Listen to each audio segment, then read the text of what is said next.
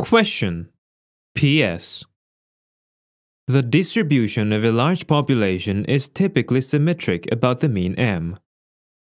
The distribution that lies within the one standard deviation d of the mean has a total of 68% of the population. What percent of the distribution is greater than m minus d? Solution Definition of normal distribution It is a distribution as illustrated by a bilaterally symmetrical bell-shaped frequency distribution graph with the average in the center. With m as the average arithmetic mean and d as the standard deviation, it is distributed in a bell shape as shown in the graph below. In the graph above, it forms a bilateral symmetry with the average m in the center.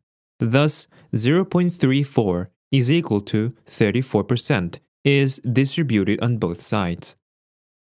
The distribution larger than m minus d is 0.34 plus 0.34 plus 0.16, which is equal to 0.84, equals 84%.